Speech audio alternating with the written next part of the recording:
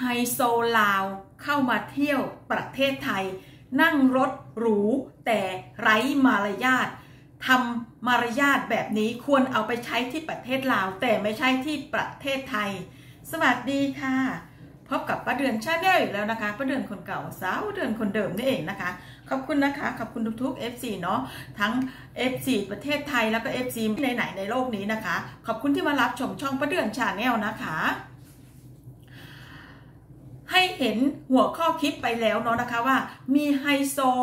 ลาว นั่งรถหรูมาเที่ยวประเทศไทย หลังจากที่มาเที่ยวประเทศไทยแล้วเนี่ยเขาก็ได้ซื้ออะไรมากินข้างทางนะคะ หรือว่าตรงไหนสักที่หนึ่งนี่แหละเนาะนะคะ ทีเนี้ยหลังจากที่กินเสร็จแล้วน่ะขยะที่ติดมา โยนลงข้างรถ โยนลงเฉยๆเลยอะ่ะ โดยไม่คิดว่าคนอื่นจะเห็นไหม หรือไม่คิดว่าตัวเองทำอะไร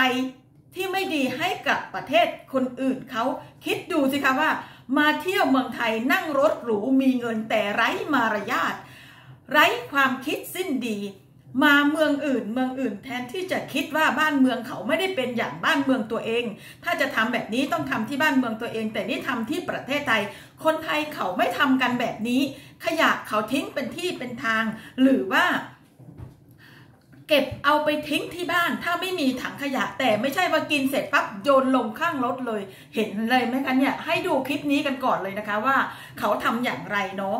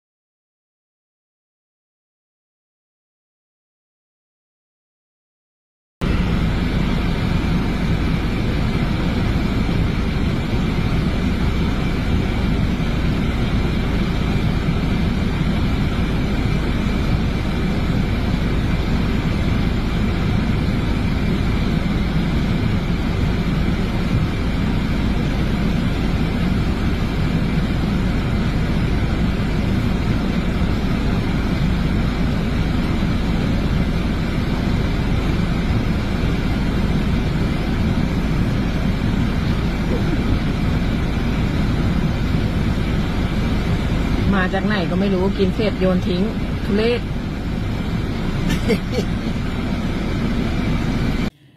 เห็นไหมล่ะคะ ขนาดฝรั่งเขาเป็นฝรั่งแท้ๆไม่ใช่บ้านเมืองของเขา เขายังเข้าไปตำหนิและบอกว่าเนี่ยคุณทำอย่างนี้ไม่ได้นะ เพราะว่าขยะเนี่ยจะทิ้งทั่วหรือว่าทิ้งเรี่ยราดในประเทศที่อื่นหรือว่าไม่ใช่บ้านเมืองของตัวเองเนี่ยทำไม่ได้ แล้วอีกอย่างหนึ่งถ้าคน เราต้องมีจิตสำนึกว่าเราจะไม่ทำนิสัยไม่ดีในที่อื่นให้คนอื่นเขาเห็น ไร้มารยาทไร้จิตสำนึก นี่แหละเห็นไหมคะ ขนาดฝรั่งเขายังไปติเตือนเอา อายเขาไหมล่ะคะ ทีเนี้ยอายไปถึงไหนๆเลยเนาะนะคะ นั่งรถก็หรู ดูก็ดีนะคะ หน้าตาก็เหมือนจะสะสวยนะคะ แต่ไม่ได้เห็นหน้าจริง ๆนะคะ แต่ดูรูปร่างแล้วก็เหมือนจะหน้าตาดีเนาะแต่ทีเนี้ย แต่ไร้มารยาทสิ้นดีเลยนะคะ นิสัยแบบนี้เนี่ยถ้าไปทิ้งที่ประเทศลาวจะไม่มีใครว่าอะไรคุณเลยนะคะ เพราะว่ามันเป็นความเคยชินของประเทศคุณ แต่ประเทศไทยเนี่ยคุณทำไม่ได้นะคะทำแบบนี้เนี่ยประเทศไทยเราเคยปรับมาแล้วนะคนละห้าพันบาทนะนะคะ ถ้าใครทิ้งขยะแบบนี้นะคะ แต่ทีเนี้ยคงไม่มีใครเห็นเนาะแล้วทีเนี้ยฝรั่งคนเนี้ยเขาก็คงจะมีเมียเป็นคนไทยแหละนะคะ เขาถ่ายคลิป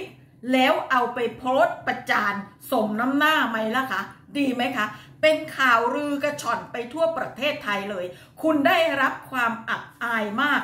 ถ้าคุณได้ทำอะไรสิ่งที่ไม่ดีให้กับบ้านเมืองเขาเป็นยังไง ข่าวนี้ก็ไม่ได้จะคิดว่ากระจายแค่ในประเทศไทยนะ เพราะคงจะกระจายไปถึงประเทศลาวด้วยนะคะ ทีเนี้ยสังคมทุกๆคนเขาก็ออกมาพูดกันว่า ไม่มีมารยาทไร้จิตสำนึก คนที่มีจิตสำนึกมาเที่ยวบ้านอื่น เมืองอื่นเนี่ยเขาจะไม่ทำกันอย่างนี้ เป็นยังไงล่ะ คุณได้มาเที่ยวแทนที่จะได้สิ่งดีๆ กลับไป คุณกับทิ้งสิ่งที่ไม่ดีไว้ที่ประเทศไทย แล้วเอาไปประจานตัวเองในบ้านเมืองของตัวเองแล้วก็ที่ประเทศไทยด้วย ว่าเป็นคนที่ไร้มารยาทเพราะประเทศไทยเราไม่มีใครเขาทำกันแบบนี้ ปลูกจิตสำนึกของคนไทยมา ไม่เท่านั้นแม้แต่เด็ก ๆ เล็ก ๆ เขาก็ยังปลูกจิตสำนึกนี้ให้กับเด็กๆ ได้เอาไปใช้กัน ไม่ว่าคนไทยจะไปที่ไหนมารยาทนั่นคือส่วนหนึ่งที่คนไทยจะต้องทำการไป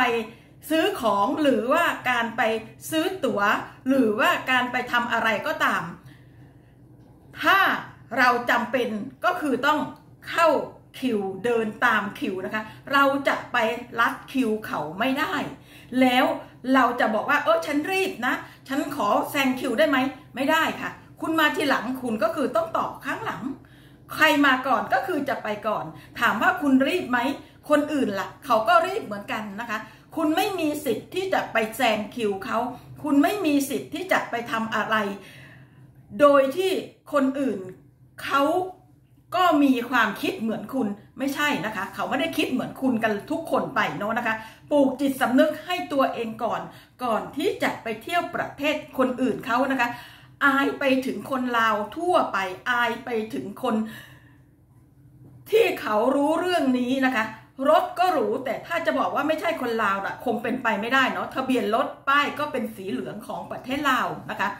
ดูสิคะ อยู่รู้อยู่ดีกินดีมีเงินแต่จิตสำนึกใช้ไม่ได้เลยนะคะ จิตสำนึกไร้มารยาทสิ้นดี จิตสำนึกคือถ้าเป็นคนบ้านเราก็จะพูดตรงๆว่าต่ำมากนะคะ สิ่งสกรปรกให้กับบ้านเมืองของเขา ฝรั่งเขายังทนดูไม่ได้นะคะ แล้วลองคิดดูซิว่าถ้าคนไทยเราหลายๆ คนเขาเห็นนะ่ะเขาก็คงจะไปต่อว่าอย่างที่ฝรั่งคนนั้นทำนั่นแหละนะคะ คงต้องขอบคุณฝรั่งคนนั้นมากๆเลยเนาะที่เมียเขาก็บอกว่าไปพูดให้เขาหน่อยซิไปดูเขาหน่อยซิทำแบบเนี้ยไม่ได้นะ ไปบอกให้เขารู้ตัว เป็นยังไงล่ะ เขาก็ไม่ได้ลงจากรถมาเก็บนะ แค่เปิดประตูรถลงมาแล้วก็มาเก็บเอา เป็นยังไงล่ะ สิ่งสกรปรกเอากลับไปบ้านคุณด้วยนะคะ เอากลับไป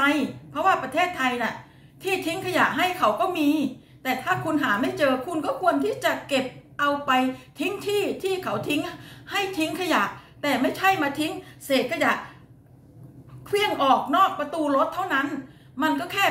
พ้นตัวของคุณ แต่ไปทำให้คนอื่นเขาเดือดร้อน ต้องมานั่งเก็บขยะของคุณนะคะ แล้วคุณเองล่ะ คุณก็ยังไม่อยากที่จะเก็บขยะของคุณเองเลย ลองคิดดูสิว่า คนอื่นน่ะ เขาอยากจะเก็บขยะนั้นให้กับคุณไหมล่ะ ปลูกจิตสำนึกให้กับคนของคุณซะก่อนนะคะ ปลูกจิตสำนึกให้กับตัวเองก่อน แล้วค่อยไปเที่ยวบ้านอื่นเมืองอื่น อายเขาไหมล่ะนะคะ อายคนอื่นเขาไหมที่ทำตัวแบบนี้ ทีเนี้ยประจานไปทั่วประเทศข่าวเนี้ยลือออกไปไม่ใช่แค่ประเทศไทยหรือว่าประเทศลาวนะคะ ออกไปหลาย ๆ ประเทศที่คนเขาใช้ในเขาอยู่ในโลกมีเดีย เขาอยู่ในโลกโซเชียลนะคะ คลิปนี้เนี่ยถ้าได้ออกจากมือถือของใครคนใดคนหนึ่งแล้วนะ่ะก็คือไปทั่วโลกนะคะ คุณก็ได้โดนทั่วโลกเขาประจานเลย แล้วคนอื่นน่ะเขาก็เห็นทะเบียนรถของคุณนะคะ ว่าเป็นรถของใคร ทีเนี้ยคนลาวหลาย ๆ คนคงจะได้ก้มหน้าก้มตากันละทีเนี้ย